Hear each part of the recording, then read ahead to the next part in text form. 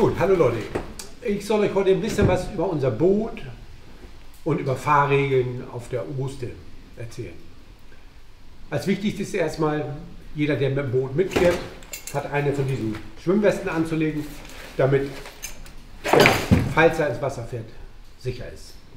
Ähm, dann ist ganz wichtig, zu den Fahrregeln gibt es die sichere Straßenordnung und die Kollisionsverhütungsregel.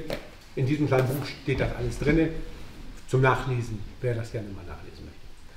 Wichtig ist, dass auf dem Wasser sich jeder so verhält, dass kein anderer belästigt oder behindert wird. Das steht in der Sicherheit Straßenordnung.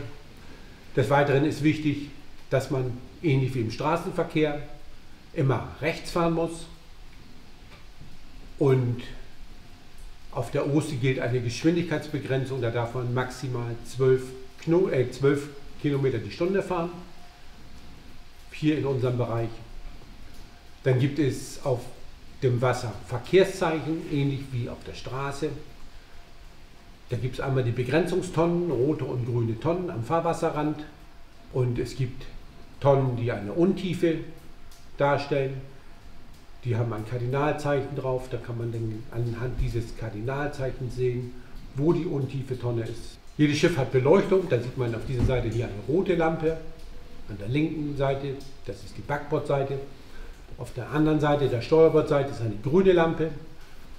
Und dann ist oben drauf ein Toplicht. Das strahlt nach vorne und nach hinten strahlt ein Hecklicht. Diese Lampen sind einzuschalten ähm, zwischen Sonnenuntergang und Sonnenaufgang. Fahren darf dieses Fahrzeug jeder, der einen entsprechenden Sportbootführerschein hat. Auf einem Seegewässer ein Sportbootführerschein See und auf einem Binnengewässer eben den entsprechenden Binnenschein.